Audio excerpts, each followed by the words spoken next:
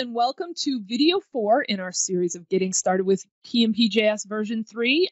In our last video, Patrick got us started with initializing our SP object uh, using our config file and how to use our on, on init function to uh, establish that context.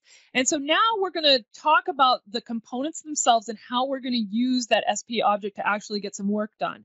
And so we're starting here in the root of the web part where we're going to render that component. It's called PnPJS example. And so we're passing in properties to that component and that will get that component rendered onto the screen. So when we get in here, we are, as we mentioned in the last video, getting our SP context and putting it in a, a private variable for this component. And so then we can use that in the component did mount, we're going to make a call to read all file sizes. And so when we call that, private function, we're going to use the SPFI factory interface to pass in the SP object to it so that we can establish a whole new SP object that then uses dot using caching. And so the caching behavior means that any call made using the new SP cache instance will cache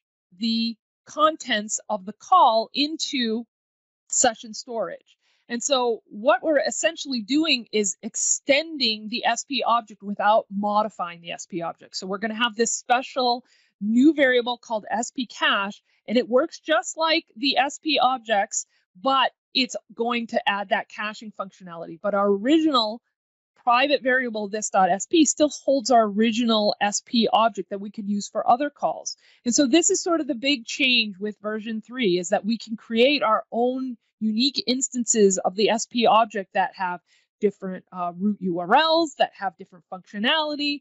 Any of those things can be done. So now that we have that SP cache object, we're going to hey, Julie, real make... quick. Does that SP yeah, cache sure. object then inherit all the observers and behaviors that were It loaded onto the does. dot underscore SP object? It does. It's a good thing that you brought that up, or I would have forgotten to say that. It That's does pretty cool. So that means it's kind of additive, and we can have a base kind of setup that we add to within our application as we need. Exactly. Super cool. That is super cool. And that's what the new behaviors extension is all about is that extending an object and creating a new instance, inheriting all those observables and then extending it, but keep maintaining that original object so that we can use it for other purposes. So it's like it's like having a base recipe, right? We have vanilla cake and we're going to take some of our vanilla cake and we're to make it chocolate, some of our vanilla cake and we're to make it strawberry, and we have all of those pieces still. So that's really uh, powerful new functionality in V3. So now that we have that SP cache object, we're going to make calls to uh, the spcache.web.list. We're going to get by title a library name. In this case, we're just going to use the, the standard documents library that comes with the SharePoint site. We're then going to get items.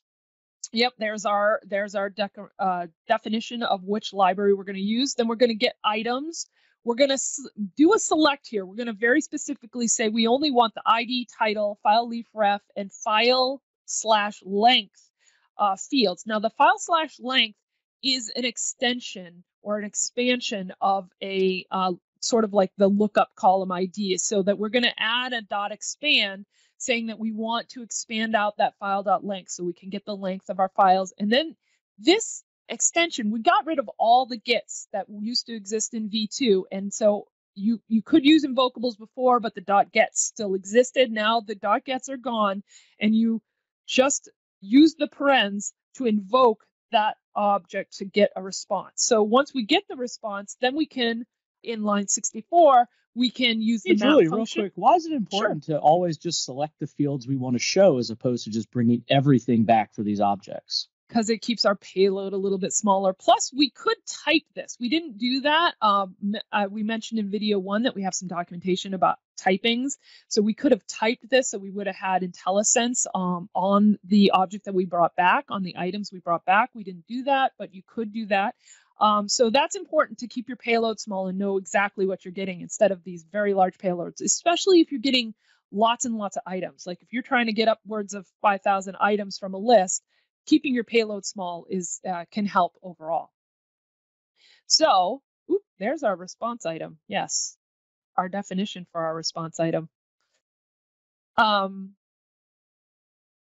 oh, you're fixing my code on the fly. I love that. Look at that. Nice. Wonderful fix. Thank you, Patrick. So now that we have our items, we're going to map through them. wow, you're just going cray cray now. All right, we're going to map through them and we're going to create a file item. And the file item just does some morphing uh, for the contents of the of the object so that we can then render them. So if we go down to the render function, which is on line 118, and we scroll down into that, we're essentially going to just render a table of all the files. And because we expanded that size, we can uh, render the size of the file. So we are showing the title, the name, and the size of each file in like a table.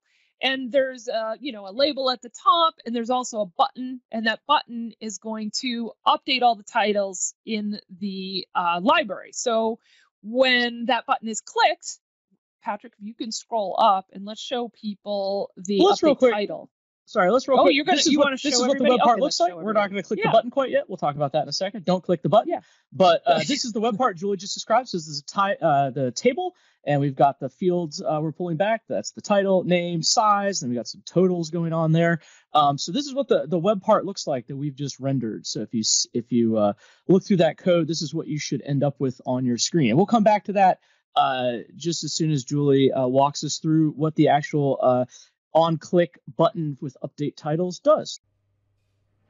Thanks, Patrick. Yep, that's going to be our next video. So in the next one, we're going to show how to use do that update titles method, which uses batching to make one call to update a bunch of list items all at one time. So stay tuned for that next video.